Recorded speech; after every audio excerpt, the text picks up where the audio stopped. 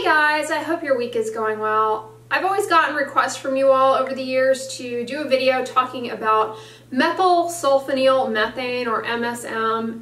You guys are wondering, is taking it a good idea for skin health? Can it improve the look of skin uh, or acne? So that's what I'm going to cover in today's video, both oral supplementation as well as MSM in topical preparations. MSM is a dietary supplement that is very popular and is pursued for a variety of ailments, uh, mostly as an anti-inflammatory. MSM is actually very well studied in terms of its safety, tolerability, toxicology, uh, bioavailability. There are many animal studies on MSM as well as human experimental studies and clinical trials demonstrating the tolerability and safety of MSM. So much so that the FDA in 2007 deemed MSM generally regarded as safe um, for daily consumption uh, at doses somewhere around 4 grams per day. So it's very well tolerated and considered safe and effective. In clinical studies, health-specific outcomes that have improved with supplementation of MSM include joint pain, muscle aches, an inflammatory condition in the bladder known as interstitial cystitis. And it has a good backing of evidence to show that it is a functional antioxidant, meaning it can help to scavenge free radicals that accumulate in the body and lead to damage and aging of body systems, including the skin. It also is a anti-inflammatory meaning it can lower inflammation in the body that drives things like arthritis, muscle aches, and skin aging. And in addition to that, it has some immunomodulatory properties, meaning uh, that it can help our immune system and our body behave in our favor. And specifically in situations of stress and in stress response, it can help kind of guide our immune system. So it's thought to um, behave in our favor and not be as pro-inflammatory and damaging to, to our body systems, including the skin. Currently, it is actively pursued as a supplement and has been studied in a variety of clinical settings, but prior to that, MSM uh, was used primarily as a solvent, similar to its parent compound, dimethyl sulfoxide, or DMSO. DMSO or dimethyl sulfoxide has been extensively studied as a membrane penetration enhancer, meaning it is an agent that can help get active ingredients into cells better, and so it's frequently added. In addition to being a solvent, it has a long-standing track record, an established track record as an antioxidant and as an anti-inflammatory. So MSM is derived from DMSO. In the late 70s, Crown Zellerbach chemists began to look at MSM to see if it demonstrated similar therapeutic uh, potential as the parent compound DMSO. In 1981, the US actually granted these chemists a patent to look at MSM uh, as an ingredient to smooth and soften both the skin and nails, as well as as an ingredient to be added to blood products as a diluent, similar to parent the parent compound DMSO. Thereafter, uh, in addition to their work and the animal studies and larger studies in humans, then in 2007 is when the FDA said, okay, this seems very safe, so we'll grant it, we'll, we'll call it GRAS, or generally regarded as safe. And ever since then, sales of MSM have been on the rise as a dietary supplement. Naturally, MSM is made in the ocean by marine organisms. Algae and plankton, phytoplankton make MSM, and it is subsequently aerosolized in the atmosphere, deposited in the soil, and taken up uh, and incorporated in plants to varying degrees.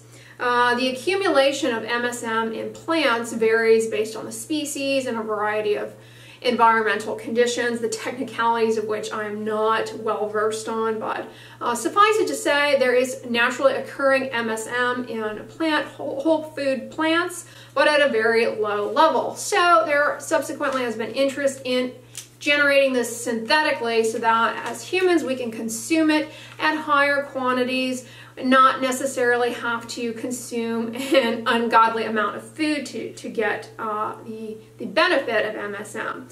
So synthetically made MSM is just made by a little lab reaction of DMSO, uh, which is a parent compound, with peroxide, hydrogen peroxide, and that results in MSM.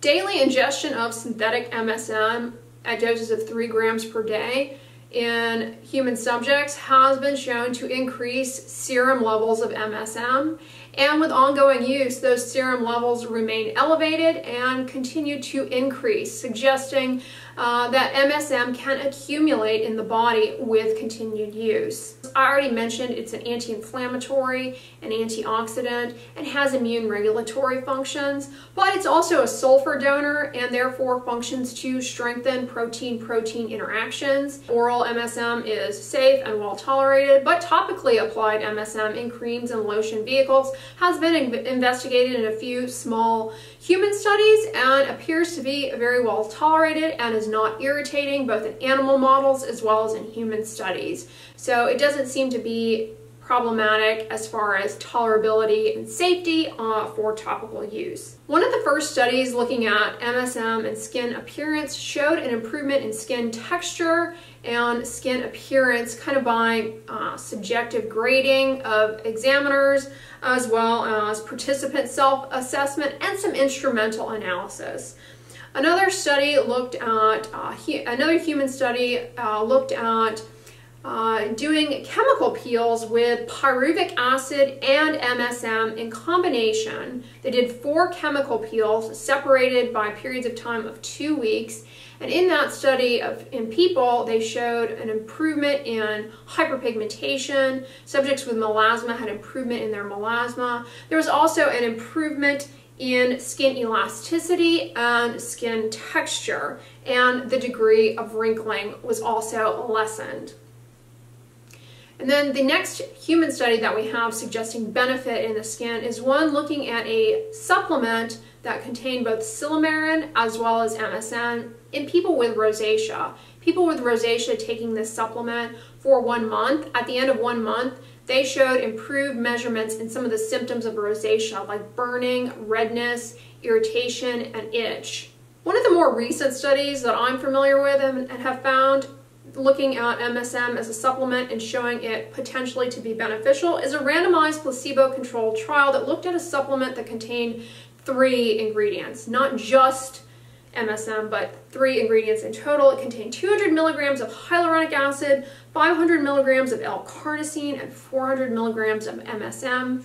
And it was a randomized control placebo, randomized placebo-controlled trial and at the end of two months of taking this supplement, subjects who were taking this supplement had an improvement in skin hydration and elasticity through instrumental analysis based methods. And they also showed a decrease in sebum production. Uh, and so that was, you know, kind of interesting. It suggests that MSM, maybe as an antioxidant and anti-inflammatory, can be beneficial for improving the appearance of skin and the skin hydration. In terms of uh, another outcome they showed also was an improvement in wrinkles around the eyes, peri-orbital wrinkles, uh, crow's feet.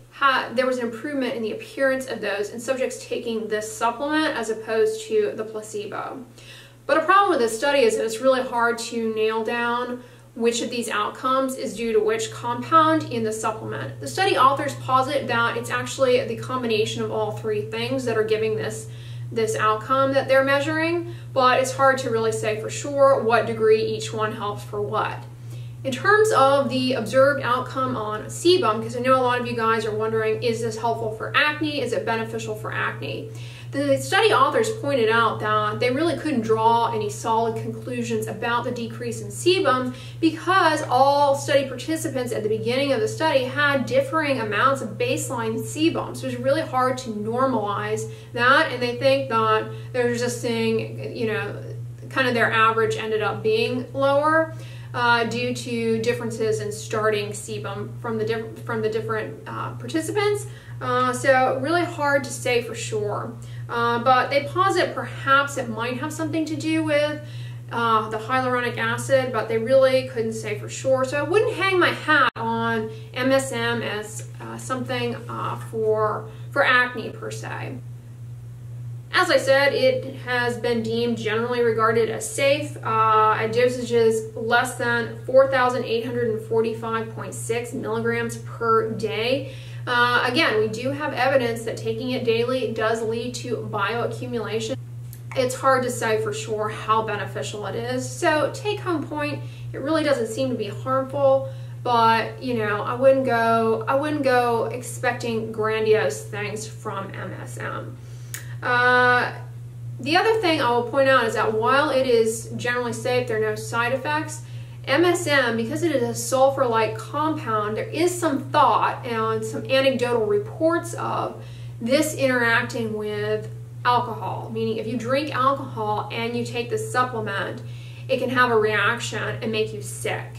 Uh, this is something that we see with a medication called uh, antabuse that is given to people with alcohol uh, abuse disorders, uh, alcoholism, uh, to deter them from consuming alcohol because they take the medication. If they drink alcohol, it makes them terribly sick. It's called a disulfiram reaction. That can happen with other with antibiotics that have sulfur-like moieties to them to a certain degree.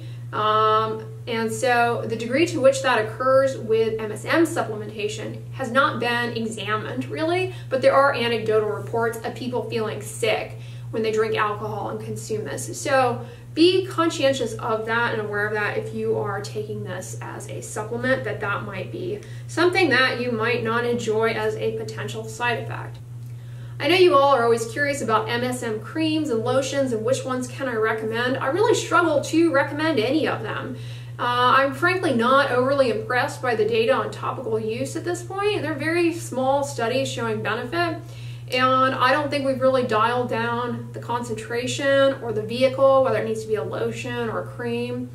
And the other reason that I'm apprehensive to recommend MSM creams is that by and large, the majority of the ones that I find that I've looked into, they all contain other ingredients that can be irritating. Most of them contain essential oils for whatever reason. And you guys know essential oils, they really can cause a lot of problems with irritation, uh, allergic contact dermatitis, and they can degrade in topical products and cause a really problematic irritation. Uh, for example, there are a lot of creams out there, MSM creams out there that have tea tree oil in it. Tea tree oil, I have a video on. It really has some issues in terms of stability. So I'm just nervous to recommend an MSM cream knowing that. There is one MSM cream on Amazon that I found that does not have that, does not have essential oils in it. It's $9.99 for two ounces. What is the brand? Uh, at Last Naturals, uh, $9.99 for two ounces. I've never tried it before, but uh, you know, disclaimer, I don't know if it's actually good or not. Uh, but that is one that I have found that doesn't have uh, essential oils in it. It does contain aloe vera in it. I have a video talking about aloe vera and topical products uh, and how it can be helpful. So check that out if you are wondering about aloe. But as a side note, this product that I found on Amazon does have aloe in it but it doesn't have the tea tree oil or some of the other essential oils. Not a lot of them do, so I feel like, you know, maybe that's one that would be okay, but again, I, I've never used it before, so disclaimer, I, I really can't say for sure if that's effective, but I'll list it down below if you are interested. Comment below though, you guys, if you use MSM products, which ones you use. I know Madre Labs makes one, but again, that has essential oils in it. I know Sun Foods makes uh, a couple of MSM uh, topicals all again with fragrance and essential oils. So, you know, kind of hard for me to recommend those and just kind of the lack of strong evidence to push for MSM in terms of skin benefit.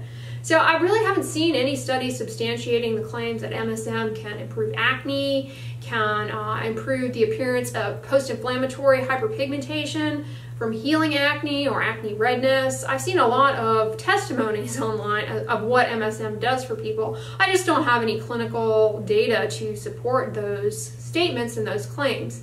Things like post-inflammatory hyperpigmentation, post-inflammatory redness, and acne, they tend to gradually improve over time. So whenever I read that, I'm always like, did that actually improve because of that product or did it improve because that is the nature of the disease process?